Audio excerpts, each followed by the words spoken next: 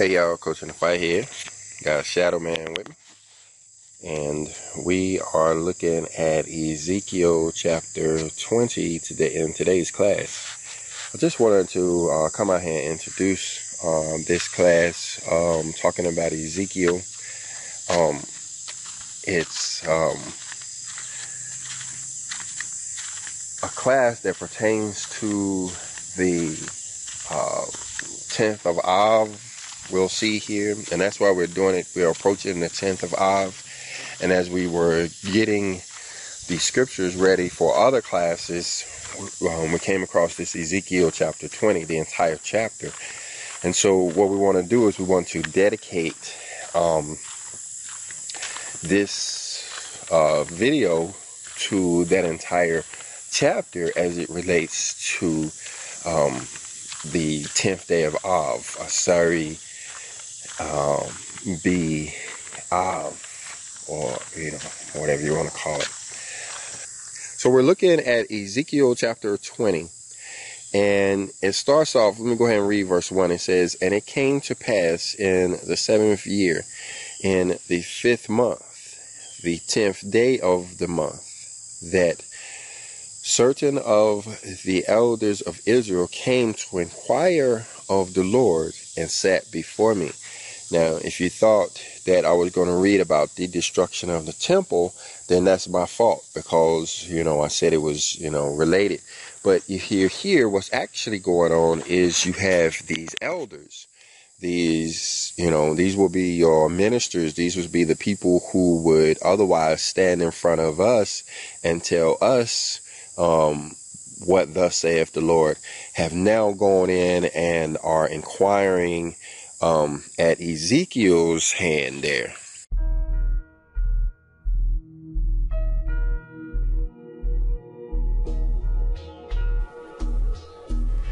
So here are the elders of Israel who are come to Ezekiel to inquire of the Lord. So now there they are sitting by his feet. Then came the word of the Lord unto me, saying, Son of man, speak unto the elders of Israel, and say unto them, Thus saith the Lord God, Are ye come to inquire of me? As I live, saith the Lord God, I will not be inquired of by you. So here we are on the tenth day of the fifth month. This is the fast of the fifth month, and you have these elders who are come to the prophet now. That's part of what we got to understand is that um, they are the elders of the community, leaders of the community, but you know they're sitting at the feet of this prophet Ezekiel, inquiring about the Lord. They want to know about the Lord all of a sudden, and this prophet is about to do what prophets do, and that's receive a word directly from the spirit world. And what it tells them is, is that I'm not going to be inquired of by you. Verse 4 says, Wilt thou judge them, son of man? Wilt thou judge them? Cause them to know the abominations of their fathers? See, this is what makes this important is because we have to understand the abominations of our fathers. That's what the problem is. It's not that we are bad people. You look at the way the earth is now and all this going on. Well, if you approach any individual and talk to them, you'll find that the majority of the people on the planet have, you know, good hearts. They they, they have good intentions. So we're not wicked people. We're not bad people, but it was our forefathers that committed these abominations. And now we are living it out. It's like, imagine if there was something that your forefather could have did that would have made you mentally or physically ill. Like if he ate a certain food, you would grow up with three heads or something like that because he ate that certain food or did that certain thing. And now here you are uh, with no toes, you know, can clearly blame your forefather for your missing toes, but you know there's really nothing you can do about it. You can't grow toes. Well, in this case, where it's talking about the abominations of our fathers, he's talking about them breaking the law. And so in this case, we can actually do something about it. We can actually correct ourselves. But anyway, that's another story. Verse 5 says, And say unto them, Thus saith the Lord God, in the day when I chose Israel, and lifted up mine hand unto the seed of the house of Jacob, and made myself known unto them in the land of Egypt when I lifted up mine hand unto them, saying, I am the Lord God, in the day that I lifted up mine hand unto them to bring them forth of the land of Egypt into the land that I had expied for them, flowing with milk and honey, which is the glory of all lands. See, he's talking about this people. He saved these two million people out of Egypt. Just went into Egypt with these outstretched arms. We're going to hear about these eagle's wings. And he carried these two million people out of Egypt and brought them into the wilderness. But what he's talking about specifically here is the day that he chose them. It's like, okay, this day was the decision made that we're going to choose this particular 2 million people and we're going to make them the chosen seed. On that day that he reached out his hand to them is what he's talking about here. Verse 7 says, Then said I unto them, Cast ye away every man the abominations of his eyes, and defile not yourselves with the idols of Egypt. I am the Lord your God. So now the way I understand this, and you guys can correct me if I'm wrong down in the comment section, but he's saying the big picture, the big point of this is on that day that he told that he chose Israel in Egypt, he told them to put away these abominations of their eyes. Um, it says, defile yourselves uh, not with these idols. Do not defile yourself with these idols. This is day one, is what I'm understanding.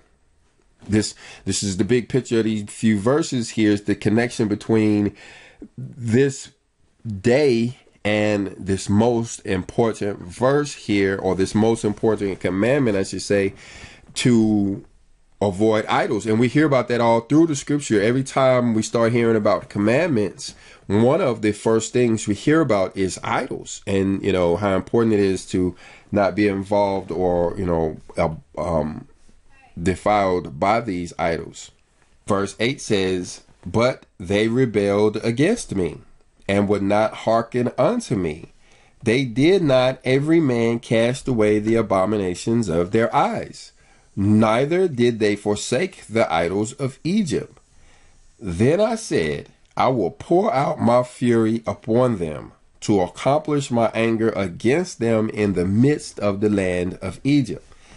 So, here we are talking about these idols. We're talking about the 10th day of Av. We're talking about the day that the Father left us or brought us out of Egypt, which was a Passover day. And he's talking about these idols here and how when he asked them, and I want to say us, so I'm going to say when he asked us to put away these idols and these images of Egypt, we rebelled against them and we didn't put them away. Well, you look at us now and we're doing the same thing, especially when you consider that the idols of Egypt now would be stuff like television. The idols would be stuff like money. You know, anything with the image that we read about in Exodus chapter 20, um, when it comes to the images and the idols, when we look around our household, the question is, do we see these? You know, do we do we see these images? And a lot of us do. I do. You know, I'm not going to sit here and act like if you went through my home right now, you're not going to find an image, especially if you look in books and stuff, you know, they're definitely in the books, but there may be, you know, something I'm missing, something that's out of sight that you could uncover that would have, you know, an image of a of a, a idol, uh, you know, there on it. Um, my point is not that I'm here to judge anybody. Um, I want to say that I'm in the same boat with everybody else, but I believe it's important to bring this out, even though we're all guilty of it, even though um, we are swimming in idolatry like a fish swimming in water.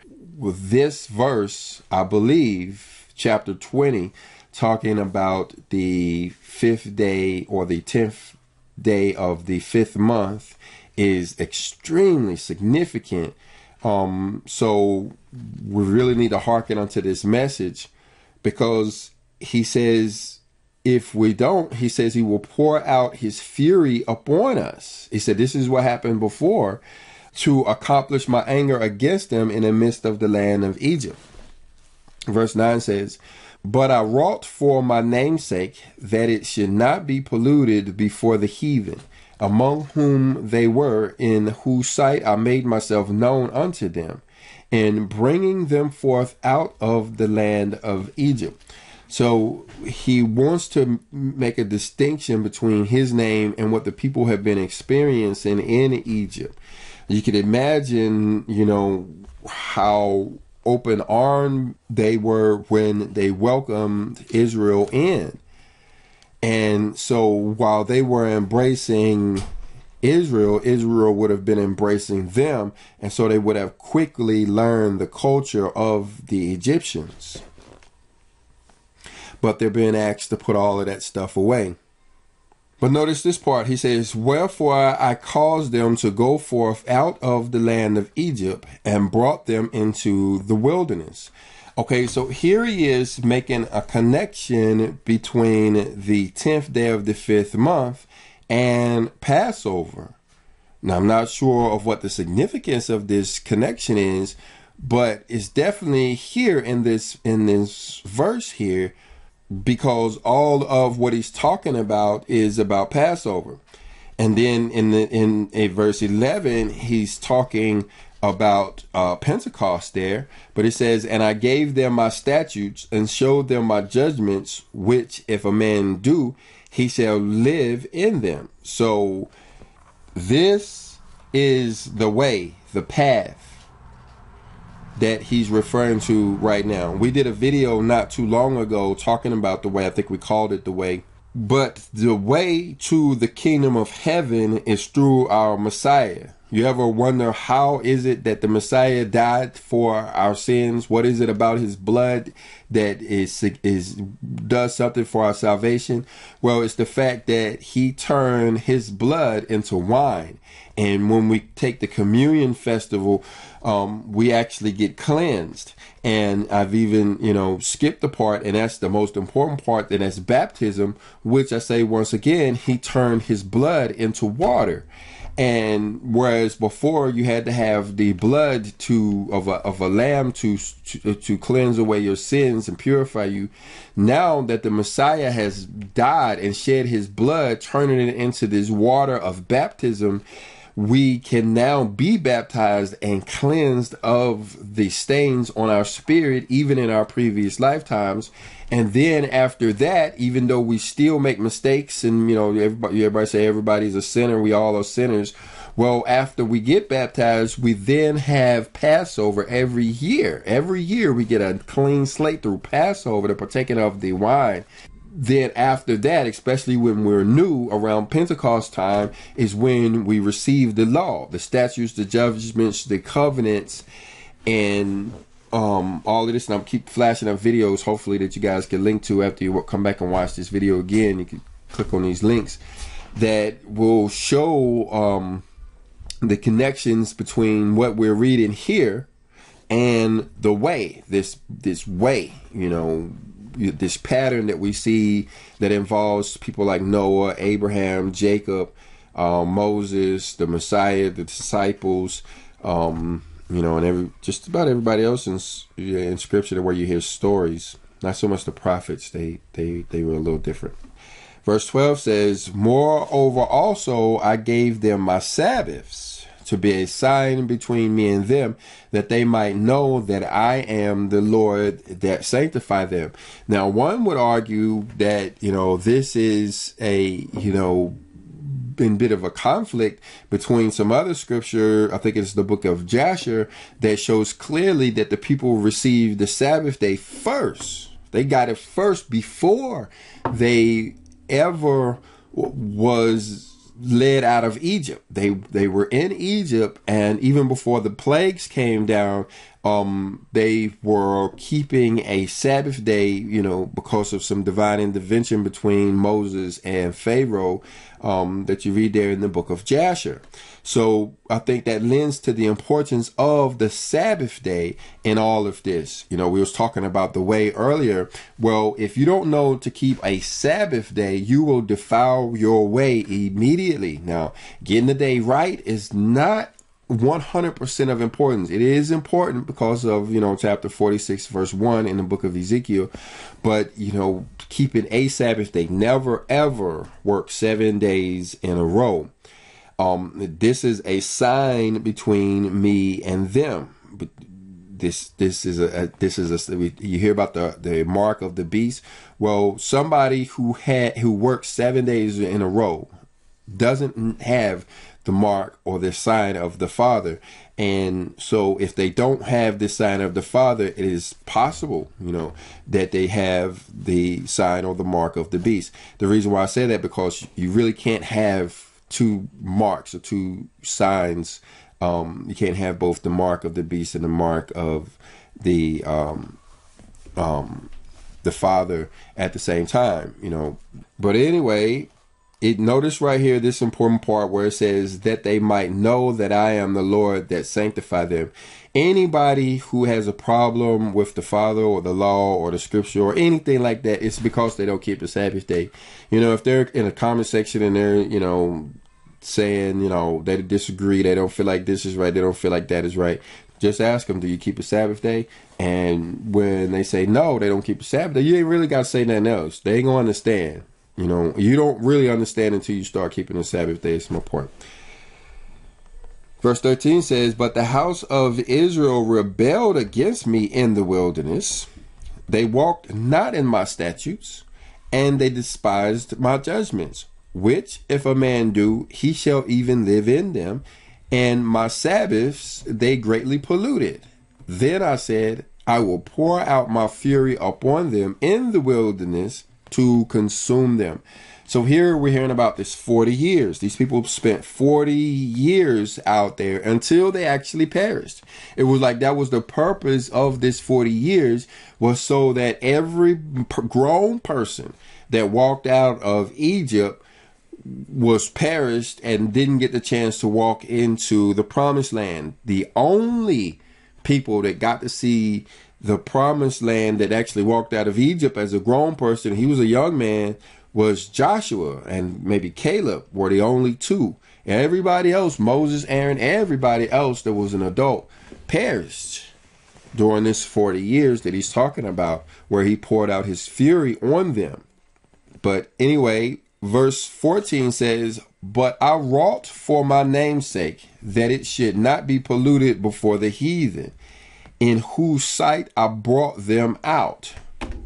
So he separated us from these people that he didn't want to commit the pollutions. So you got to understand that faith in the Father, that service to the Father. I'm trying to find out what was a good word here um, that actually makes you choose Him over the world.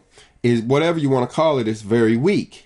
And in a lot of cases, it tells us that we have to separate ourselves from the people of the world or they will not I don't want to say defile or pollute us, you know, anything like that, but they will change who we are. Like for instance, if you allow your child to marry a Gentile who keeps pagan holidays, it won't be long that your child will be keeping pagan holidays. I don't care if you raise them keeping Christmas or not. You know, show up unannounced on Christmas at their doorstep, and you are going to see lights and and you know, hopefully you don't see a tree, but you're gonna see presents and you're gonna see food and you're gonna see, you know, Christmas. You're gonna see that stuff around. And it's hard to go the other way around if your child who tries to convert them over and say, no, we're gonna we're not gonna keep Christmas, we're gonna keep tabernacles instead. Well, then it's gonna be a huge fight. I mean, a physical, you know, somebody going to jail, you know, before it's over with, you know, or worse, because it's gonna get really rough around that house when these two people who are so different are at odds. One wants to keep the pagan holiday, and one wants to keep the holy holiday, the the holy days, and they're they're they are um, at war. It's okay. It, the household would be okay, and everything would be fine if the holy child acquiesced and says, you know, we okay, I'm not going to worry about it. We're going to do it your way. Then the family will be fine. There will be seem successful. Everything will be going well. You know, there'll be a beautiful postcard family, you know, when they do it the pagan person's way. But when that child says, no, we're going to keep it holy, well, yeah, holy means war. Holy, holy means war. Like the Messiah said, he didn't come to bring peace, he came to bring a sword. So I believe that's what verse 14 is talking about. Verse 15 says, Yet also I lift up my hand unto them in the wilderness, that I will not bring them into the land which I had given them, flowing with milk and honey, which is the glory of all lands. So he's not going to allow them to come in. He's not going to allow these adults who walked out of Egypt to enter the promised land. Only their children will be able to enter this promised land. He says, Because they despised my judgments and walked not in my statutes and polluted my Sabbaths, for their heart went after their idols. See, now that's where we started off at, right? In this conversation. You know, that's why we spent so much time talking about that because he is now saying this is the reason behind all of these other difficulties was because of these idols. Day one, he told us to put away these idols. We rebelled against them and we didn't. And here now, we're not going to be able to see the promised land because of these idols, because of these images and stuff. Well, that's what makes this this important. Nevertheless, mine eyes spared them from destroying them, neither did I make an end of them in the wilderness. So he didn't kill everybody. He could have destroyed everybody and made them start over. You know, I told you to put away those images of Egypt. I told you to put away those idols. I told you to get rid of that stuff and you didn't. So now we're going to start over like you told Moses, you know, just step out of the way.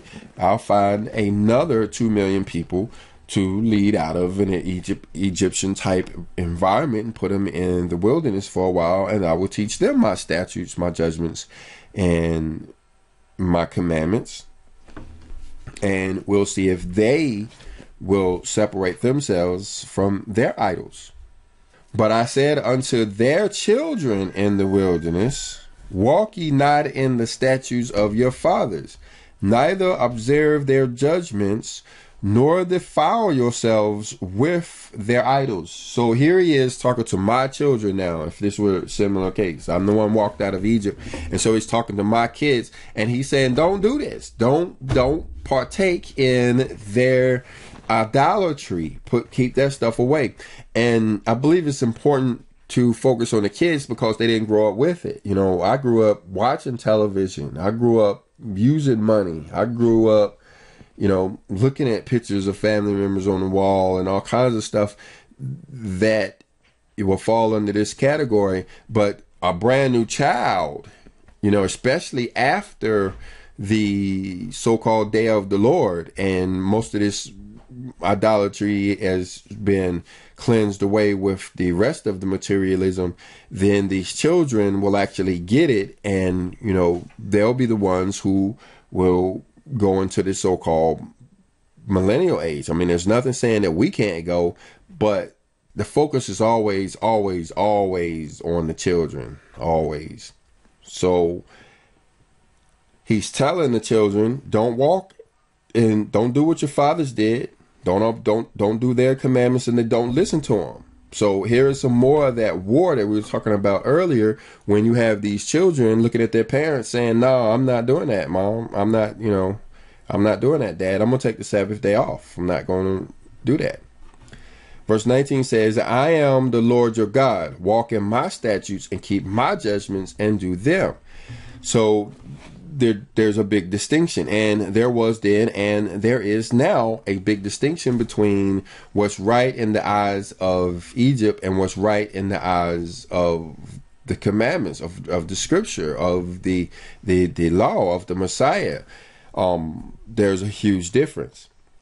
So he's saying, walk in his commandments and hallow my Sabbaths, and they shall be a sign between me and you, that ye may know that I am the Lord your God. Now, is this deja vu?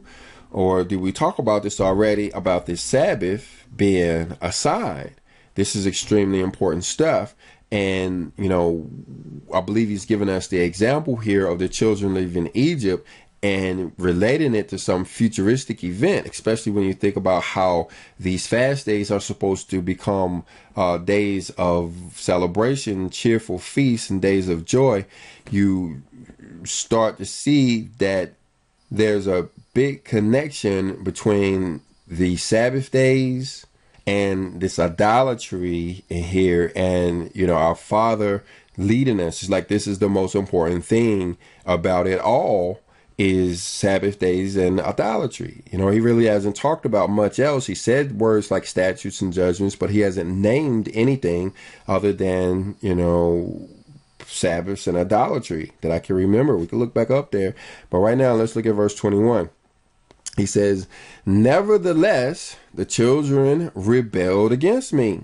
They walked not in my statutes, neither kept my judgments to do them, which if a man do, he shall even live in them. They polluted my Sabbaths. Then I said, I will pour out my fury upon them to accomplish my anger against them in the wilderness. 22 says, Nevertheless, I will withdraw mine hand and wrought my namesake, that it should not be polluted in the sight of the heathen, in whose sight I brought them forth. So to me, this sounds like he is being merciful here with us and that he keeps removing his hand and or taking his name away from us because I mean otherwise it will be polluted by the heathen. So to me this sounds like there's separation here. But anyway, look at verse 23. He says, I lifted up mine hand unto them also in the wilderness, that I would scatter them among the heathen and disperse them to the countries. Okay, so now he's lifting up his hand to actually scatter them and disperse them to the other lands because they had not executed my judgments, but had despised my statutes and had polluted my Sabbaths, and their eyes were after their fathers' idols. So here you have this people who have been led out of Egypt wanting to keep the Egyptian ways of doing stuff, even down to the idols. Some of the stuff may have been okay, you know, as long as it really didn't break the rules or the covenant. You know, you could do some, you know, you do some stuff. I mean, we have a little basketball court out there right now, and I don't see a problem if my children were to pop up and go out there and play a game of hoops or whatever. But there's other stuff that we had to leave behind in Egypt, and we were told to. And looks like that really the only thing we were told to leave behind was the idolatry you know, we were asked to start keeping the Sabbath days, but as far as what we weren't supposed to do, you know, the idolatry was the number one thing that we're hearing about here. And these statutes and judgments are not too far behind, but we wanted our father's idols, and that was the problem. Verse 25 says, Wherefore I gave them also statutes that were not good, and judgments whereby they should not live. So you say, what? Huh? So he has now given us statutes that are not good or that were not good and judgments whereby they should not live and polluted them in their own gifts and that they caused to pass through the fire all that openeth the wound that I might make them desolate to the end that they might know that I am the Lord. So this is what, you know, a lot of those people who will come out and say that, you know, our father is good as well as bad. You know, they say that the, he's he, he can do bad stuff, but you have to understand the difference between our Father and this word Lord here. This word Lord here is talking about Elohim, which refers to all things in the spirit world, including the angel of death that went through and dispatched all of those firstborn children. So when you're reading this and it's given statutes that were not good, that's like well, something my wife and I were talking about. Mm, I think it was yesterday or maybe even today that there were some of the rules that were given to Moses that were misunderstood. And when he says that he will give them statutes that were not good, I have to question who else was receiving these so-called statutes besides Moses. But anyway, we'll save that one for another class, or at least the comment section.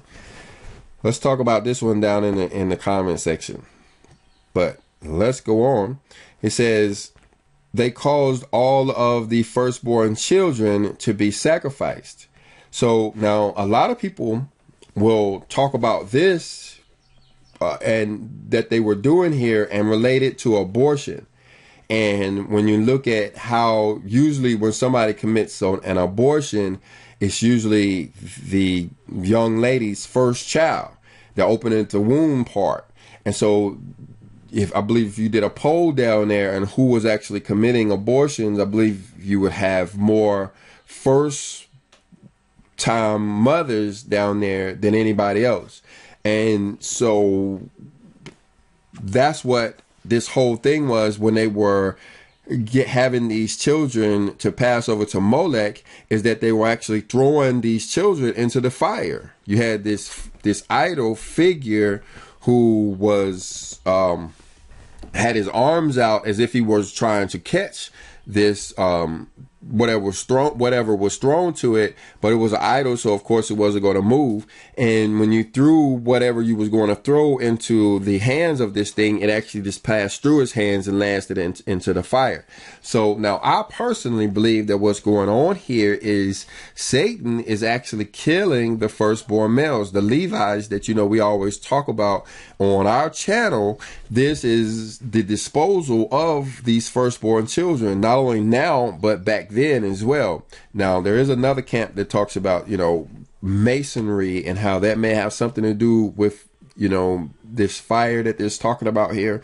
But I don't know much about any of all of that. So let's go on. It says, Therefore, Son of Man, speak unto the house of Israel and say unto them, Thus saith the Lord God, Yet in this your fathers have blasphemed me, in that they have committed a trespass against me. So now we're turning blasphemous.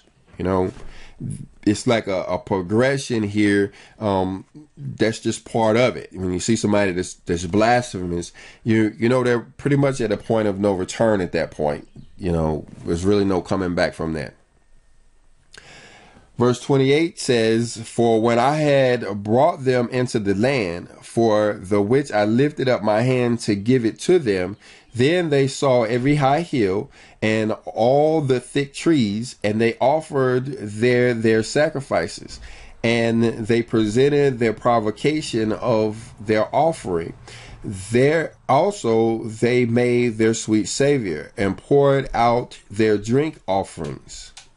So here, all of this, I mean, sounds good, but when we look back at verse 27, somehow these people, somehow we are, or we did blaspheme him and all of these, you know, high hills and thick trees, you know, making these offerings and these sacrifices.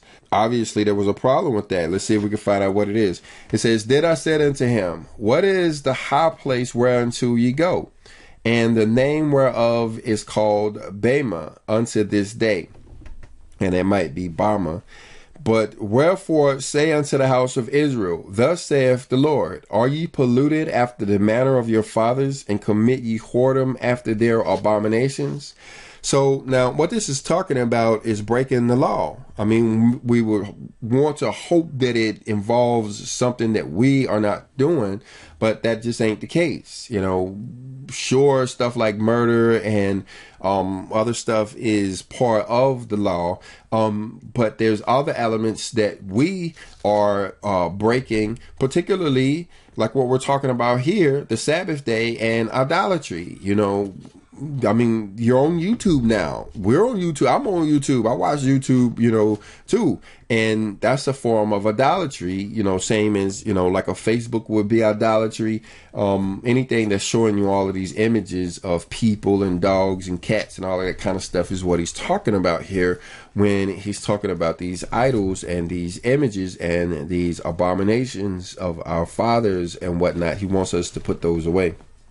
Wherefore say unto the house of Israel, Thus saith the Lord God, Are ye polluted after the manner of your fathers, and commit ye whoredoms after their abominations?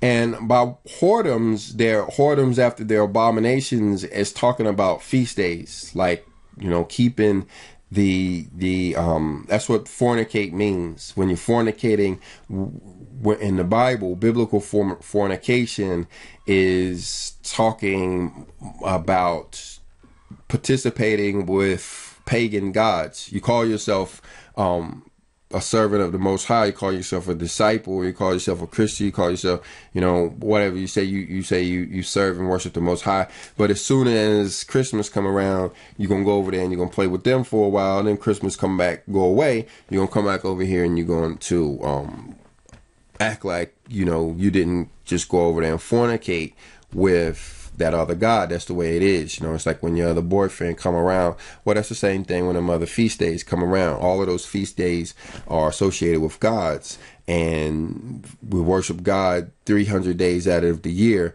But then every once in a while, a lowercase g God comes around, and we jump in his truck and go ride with him, play with him, do what he want us to do, and then he drop us back off at the end of his uh, holiday, and we come back with the with the Father. That's that's what he means by whoredom. We're whoring around. Verse 31 says, For when ye offer your gifts, when ye make your sons to pass through the fire, ye pollute yourselves with all your idols, even unto this day. And shall I be inquired of by you, O house of Israel? As I live, saith the Lord, I will not be inquired of by you. Okay, so he's talking about our idolatry and the not keeping of these Sabbath days. You know, this is very serious business here. This is why, you know, people have a hard time understanding spirituality, you know, because, you know, they've been cut off. Not keeping the Sabbath day gets you cut off, idolatry gets you cut off. Um, and so now you don't really have this relationship. You know, there's a lot of people who are religious now. Don't get me wrong. You know, they can sound religious. They can dress up every Sunday. They can even stand behind a pulpit and preach a sermon. But, you know, that doesn't mean that they have a spiritual connection. And whenever you see a bunch of idolatry around or person not keeping the Sabbath day and, uh, and, and such, you can be assured that it's just a religion and there's not going to be any spirituality around until something changes and they start to reject and get back on a path. At least is what i believe. You know we ain't seen nothing about that in this in this chapter so maybe he's actually going to talk about that. All he's talking about right now is how you know he's not going to listen to us you know? Verse 32 says and and i guess one of the, one of the things about that is he doesn't allow us to understand the correct way to pray. And so now that we don't know how to pray then we don't know how to communicate with him. And so he doesn't have to ignore us you know. It's like when you know they don't have your phone number. You ain't got to ignore them they don't they don't know how to call you anyway. And that which cometh into your mind shall not be at all that ye say. We will be as the heathen as the families of the countries to serve wood and stone. The New International Version says, Ye say, we want to be like the nations, like the peoples of the world who serve wood and stone. But what ye have in mind shall never happen. So you're not going to be able to abandon the Father's ways altogether. You're not going to be on be able to uncircumcise yourself and live your life as if you was a heathen from now on. Verse 33 says, As I live, saith the Lord, surely with a mighty hand and with a stretched out arm and with fury poured out will I rule over you. So the thing about being outside of our Father's laws and commandments is it causes tribulation and causes pain for us. You know, um, sure, you could break the commandments all you want to, okay, but now go live out there in the wilderness. You know what I'm saying? Go go out there in nature for a little while, see how long you last. You know what I mean? Um, the mosquitoes gonna bite all of us because all of us got stuff going on. But for some of us, there's a whole lot worse stuff out there than a mosquito. You know what I mean? So we have to be careful and not think so much that it is our Father who is causing this. The Elohim, this Lord individual they keep talking about, has a lot to do with it. The Elohim has a lot to do with it. But when it comes to our Father, we have to remember that He is like a father to us. He wouldn't actually do anything to harm us. You know what I mean? Um, you know, if I had the power, this, you know, my son can do whatever he wants to do out there, you know, where he's at, and you know, there's nothing he can do that's going to make me hit him with a bolt of lightning. You know, that's just not going to happen.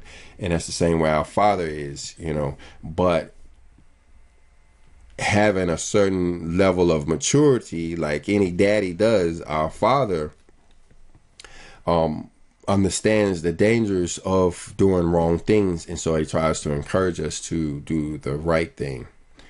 And so I believe that's what he's talking about here, where he says, And I will bring them out from the people, and will gather them out of the countries wherein ye are scattered with a mighty hand, and with a stretched out arm, and with fury poured out.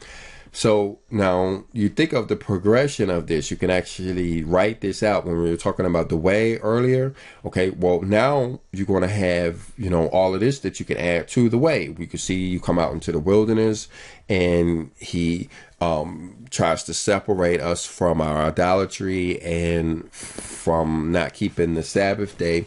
And those, of course, there'll be some that'll do right, but then the others will be scattered and kind of put in cities and such. And then even there, he comes and he gets us and he brings us back out, um, you know, and tries again to teach us the laws and the statutes. Is what it boils down to is the laws, the statutes, the commandments, the judgments.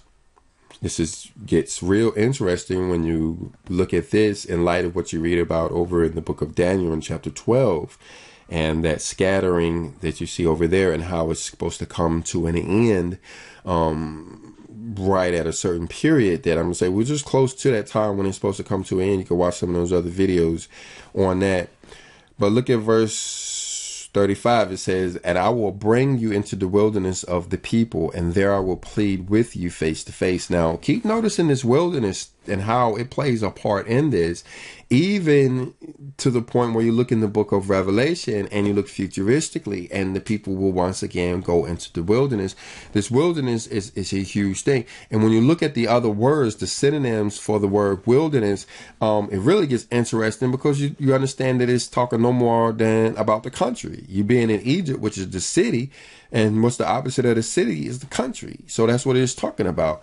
Um, woods, could be talking about desert land. It's just away from the Egyptian stuff like pavement and cars and buildings and you know all of that stuff going on.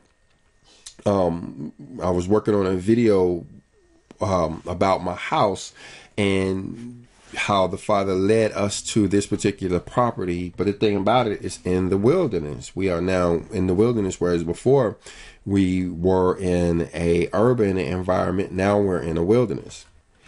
Like as i pleaded with your fathers in the wilderness of the land of egypt so will i plead with you saith the lord.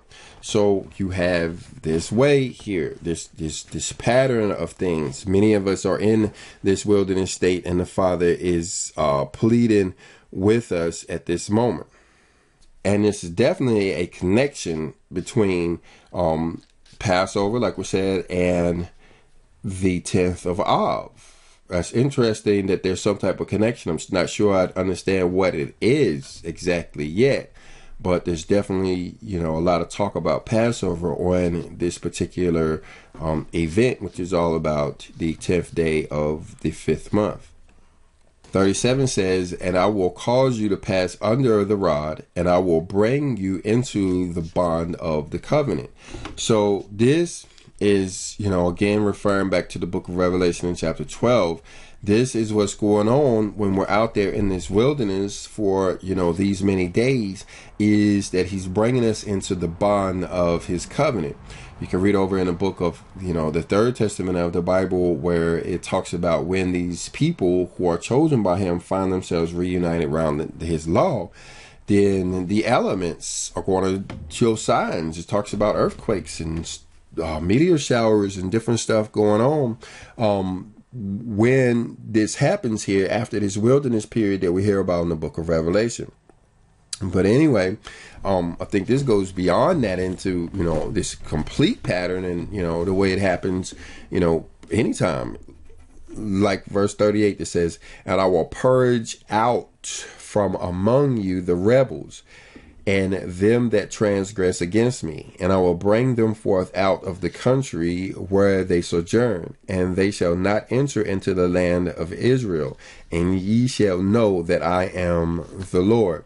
So these people, you know, speaking materialistically, a lot of times you'll have people who will move back here to this wilderness area. We see them move back here all the time. As for you, O house of Israel, thus saith the Lord God, Go ye Serve ye every one his idols, and hereafter also, if ye will not hearken unto me, but pollute ye my holy name no more with your gifts and with your idols. So, if we're going to continue on this path, if we're going to continue doing this, it says, For in mine holy mountain, in the mountain of the height of Israel, saith the Lord God, there shall all the house of Israel, all the house of the land serve me there will I accept them, and there will I require your offering and the firstfruits of your oblations with all your holy things. All right, once again, I'm going to come over to the New International Version that says, As for you, people of Israel, this is what the sovereign Lord says Go and serve your idols, every one of you. But afterwards you will surely listen to me, and no longer profane my holy name with your gifts and idols. Okay, so that makes sense. You doing it now, but you're not going to do it forever. And it says, "For on my holy mountain, the high mountain of Israel, declares the sovereign Lord." Therein the land all the people of Israel will serve me, and there I will accept them. There I will require your offerings and your choice gifts, along with all your sacrifices. Okay, so this, you know, things are going to, to change, is what it's saying. You know, he's never really going to give up on us and allow us to, you know, go completely over to um, the other side, never looking back. You could imagine if this wasn't the case, that would be exactly what would happen. Um, Satan would definitely win because you know we would, would never really find the path back to him. There's no way really for us to do it alone. So he reaches in and he grabs us and he puts us on this right path. Verse 41 says, I will accept you with your sweet Savior, and I will bring you out of the people and gather you out of the countries wherein you have been scattered, and I will be sanctified in you before the heathen. So this is, you know, what the scripture was referring to when it says that no man can boast. We can't really say that we are responsible for this happening to us. We can't say we were such and such, and that's the reason why you know the Father reached in and pulled us out. We know He had to come pull us out, but why did He pull us out? Um, we can't really take credit for that at all. Verse 42 says, And ye shall know that I am the Lord when I shall bring you into the land of Israel, into the country for the which I lifted up my hand to give it to your fathers. Now, this is where some people get the idea that we're going back to Egypt. This ain't the only verse back to Israel, I should say. This ain't the only time it says that. Um, but I don't really know unless it's going to be after the day of the Lord. Maybe sure, you know, then you could go back. But there's no way that you could get me to go back over there before the day of the Lord because I'm looking at scripture that seems to say something like, you know, there's going to be a huge rock that's going to land over there on Mount Olive, and it's to be going to wreak havoc, if not completely destroy that part of the world, or at least Jerusalem as we know it. 43 says, And there shall ye remember your ways and all your wherein ye have been defiled, and ye shall loathe yourselves in your own sight for all your evils that ye have committed. Okay, so now we can start comparing some of this to what we read about in the Shepherd of Hermas and the Angel of Punishment, because after you spend a period of time um, making up for the wrongs that we've done, you finally start to get a repentant heart and you understand everything that you've gone through was the result of previous sins. And that's what it seems that it's talking about here, where it starts saying you will loathe yourselves. Another idea that pops in is, you know, where, you know, talks about the great awakening and you have these people who awaken some to shame and some to remorse. So that could be what it's talking about here. Uh, verse 44 says, And ye shall know that I am the Lord when I have wrought with you for my name's sake, not according to your wicked ways, nor according to your corrupt doings, O house of Israel, saith the Lord God. So he's coming for us. That's the beauty of this all is, you know, that I mean, this is why some people talk about predestination. Like, you know, you're minding your own business, but you're predestined to go through this. So there's nothing really you can, you know, do about it. When that day comes, you're going to take action and you're going to do exactly what he wants you to do. Well, I don't know that this applies to everybody. I don't, I don't know if I fit in that camp that says, you know, everybody's on this certain path. But to think many of us are still making mistakes and errors, but yet he's chosen us over other people who, you know, seem to be working really, really hard to, you know, learn his ways seem to be overlooked sometime, maybe. I, I may not have seen it firsthand. So let's go on. Verse 45 says, Moreover, the word of the Lord came unto me, saying, Son of man, set thy face toward the south and drop thy word toward the south and prophesy against the forest of the south field. Now, so this is some more this Hermas kind of stuff. We kind of need the shepherd of Hermas to understand here, like we were talking about those mountains earlier. Now he's going to start talking about trees here. And in the shepherd of Hermas, one of the things we learn when it comes to, you know, the parables of the trees is how these certain trees are burned and in a different parable you have these other trees that are blossoming and bearing fruit. But anyway may give you guys links to that which you can check at the end of the video for that playlist on the uh, shepherd of hermas um, it's a verse by verse kind of like we're doing now except for my wife helped me with it and we or i helped her with it and it covers the entire book called the shepherd of hermas like I said, verse by verse. But anyway, check that out.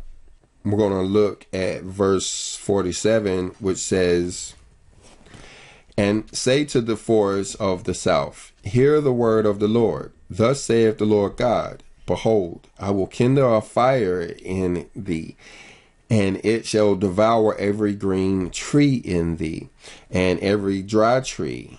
The flaming flame shall not be quenched, and all faces from the south to the north shall be burned therein. This is what happens to trees that don't bear fruit, they get burned. Verse 48 says, And all flesh shall see that I, the Lord, have kindled it, it shall not be quenched. And so that's when Ezekiel speaks up and says, I, Lord God, they say of me, thus he not speak parables? So this is kind of what reminded me of that parable, and maybe that's what's going on with verse 47. All right, so there you have it, guys. Ezekiel chapter 20. Um, as I was walking over here to close out this video, I was thinking, you know, all of the holidays have significance. Like we've been talking about the way and Passover and how that cleanses you. And then you have the Feast of Unleavened Bread when you actually get into the Word of God for a week, you know, you can imagine how much that gut that does for you. And then you have tabernacles where you're sleeping in a tent and, you know, giving you that secure feeling that it is our Father who takes care of us and such. And then you have other festivals to do this and you have other festivals to do that. Well, this, in my memory, seems to be the only one that really focuses in on idolatry and maybe even the Sabbath day. You know, seems like those two are the focus of Ezekiel 20, and it's all talking about the 10th day of the fifth month, uh, like we read about in the first verse. But to me, it seems like this day, this could be the one day when we understand this, at least, you know, it could be the, the, the day annually where maybe we go through our house and make sure that we have no idolatrous stuff hidden around here or, you know, there. Um, getting, you know, that stuff at least where it's not, you know, seen. I, I usually take pictures and put them in a photo album or something like that, but I have burned them and destroyed them. So, but anyway, we wanted to cover every verse in this chapter, and I believe we have done so. I hope you got something out of this video. If you did, go ahead and hit the like button. If you didn't, hit the dislike button. Remember all your comments. Go ahead and watch the video again so you can see some of those links we were talking about. Um, but remember all of this is making a connection. You know if we were just try to summarize these connections and y'all can help me out with this in the comment section but what i believe he's saying is the 10th of av is related to this exit of babylon this futuristic exit that we hear about maybe even the great awakening. So with that i'm going to close this video out and i'm going to say shalom